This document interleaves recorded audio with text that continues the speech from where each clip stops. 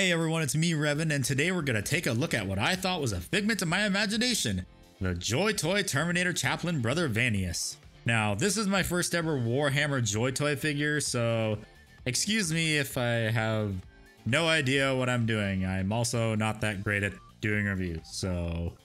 First, we have the very minimalistic box that shows you exactly what you're gonna get. The box's matte finish is actually very nice. It's not overly glossy like a lot of figure boxes I've seen.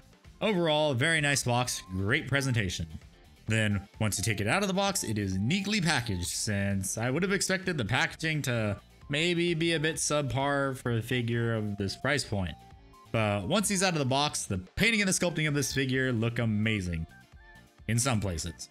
Especially when comparing him to his tabletop miniature, which, yes, I still need to paint that, but I will get to that eventually. And this figure is actually very chunky, so that makes him very solid. So that means he doesn't really have any loose joints, which is honestly a good thing. Now for a few of my nitpicks with this figure. So first things first, uh, yeah, the purity seals look a bit too dark for my taste, so I'll probably go back and highlight those but we'll see about that. The outside of the cape is a very nice bright red and in the right lighting, it looks great. You can also see the effect a lot of us fail to imitate when we paint capes, but the inside of it looks good aside from the blue stripe, which I might paint over. The trim is also very nicely done, very crisp and easy to read, along with every single bolt being painted. The gold is a very nice shade and it's very bright and honestly looks a lot better than the base Retributor armor that GW always uses. Also, his eyes maybe could have used some attention too because looks a bit beady along with the lenses being a bit too meh. The skulls though are nicely weathered along with the parchment having some molded in details to see the beautiful squiggly lines we always put on our scrolls. A lot of the details on this figure are really well done like the wreaths on his shoulders are nice and pronounced Although, if it was me, the wreath would have been green instead of gold. I honestly feel like this is just an artist proof, but you only need to do the finishing touches. Also might repaint this right here because nobody likes the blueberries.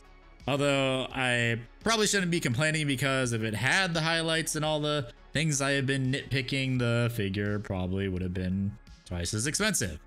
For the accessories, he comes with all the things everyone's favorite and most expensive Terminator Chaplain would be expected to come with. A bonk stick, otherwise known as a Crozius, was really hard to get it into his hand because he has a tight grip. A comically oversized Stormbolter, and four extra sets of hands. But it's really just if you want him only holding one weapon, or he has the Crozius like this, but I mean really, we all know we're gonna display him holding both of them. I also noticed that my Stormbolter had some paint chipping off of it. Not sure if this is intentional, but take that into account if you want to get one of these. I should also mention it is a massive bitch to remove and replace his hands. When I tried to do it for the video, yeah, the hand took the ball joint with it. So I gave up on changing them in this video for the review. And now we get to the part where everyone in the comments, I know you're gonna say, oh my god, is that a Jobby reference? Or are you a Jobby fan? The answer to all of those questions is yes.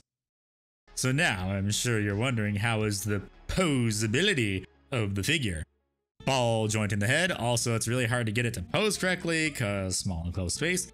Ball joint to the large scrolls, swivel on the purity seals and skulls on his belt. Really good ab crunch and side to side motion, can get some pretty funny poses with it. Uh, decent spread, Swivel at the legs, not much range of motion. Also, this is the cape's range of motion. Hinge joint at the knee. A foot that can't really move back and forth that far, but a really good toe bend. And not that much ankle pivot. Ball joint in the wrist. Hinge joint that can also swivel at the elbow. Very limited range of motion at the shoulder. It's limited by this little piece right here. You can probably slice it for more range of motion, but I'm not doing that to mine. But let's be honest, we are all most likely going to pose him like his very expensive and smaller brother. Size comparison time. Here's his tabletop counterpart, an Armiger, and my most recent Forge-World model I have built, the Knight Asterius. And damn boy, he thick! I'm pretty sure you also thought I was to put him next to the Warlord Titan. and here he is next to the Titan. This Titan is a pain in the ass to move, so yeah, not taking it out of the display case.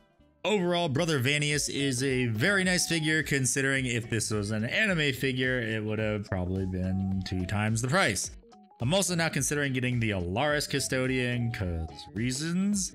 Although this figure does have its minor flaws, it's overall a very nicely made figure, very solid, decent posability, and it doesn't cost an arm and a leg like his tabletop counterpart. Although you could argue it does, since it honestly shouldn't have been this much compared to other Terminators. Overall, if we ignore my nitpicks, it's a 4 out of 5 figure. But if you would like to get one for yourself, you can either get it from the Joy Toy website or the Big Bad Toy Store. Anyways, if you enjoyed the video, be sure to like and subscribe. Maybe leave a comment down below if this is gonna be a new addiction on top of Warhammer like it might be for me. I also have a Discord server and I stream to YouTube now every week. So thank you so much for watching and remember, being poor is a choice. Okay, bye.